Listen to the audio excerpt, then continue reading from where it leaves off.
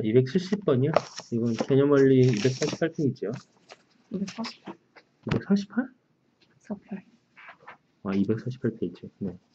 그래서 수열 이거 이거 얘기하는 거지. 음, 뭐야? 네. 그래서 an 플러스 1 마이너스 an은 2n이다. 그럼 얘는 차가 이런 함수값을 나타내니까 이건 개차 수열이다라고 할 수 있어요. 개차 수열. 얘는 a1, a2, a3, a4 이렇게 나올 때 요 사이가 2n의 꼴로 나오니까 여기는 2, 4, 6 이런 식으로 간다는 얘기잖아요. 그죠?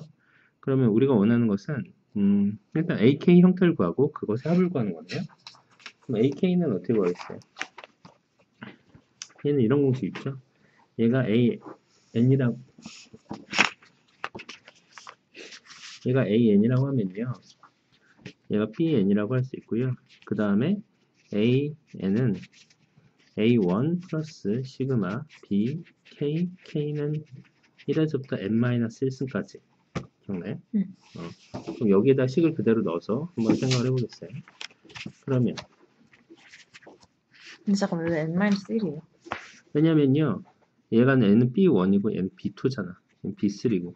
그죠? 음. 그래서 A4를 구하려면 어떻게 한다고 그랬어요? 어, A1 어, 더하기 어. 2, 4, 6이니까 B3까지 구하는 거죠. 음, 음. 그죠? 그래서 A1은 지금 뭐지? 5라고 주어졌고요. 그 다음에 BN은 B는 뭐야? 2N이라고 2K로 줘 2K. 2K라고 쓰면 되잖아요.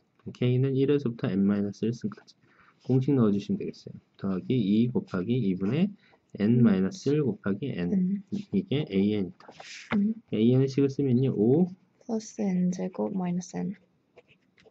2n 제곱 왜요? 마이너스 2n. 아 미안해. 그 헷갈렸네요.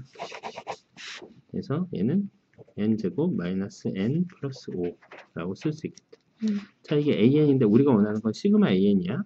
ak k는 1에서부터 20까지다. 그럼 여기 똑같이 시그마 넣어주시면 되겠어요.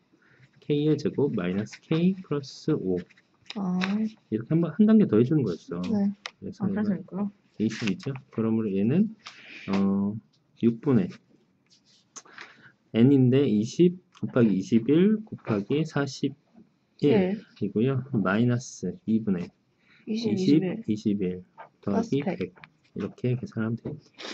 네, 음, 음. 이거 계산하시면 돼요. 네.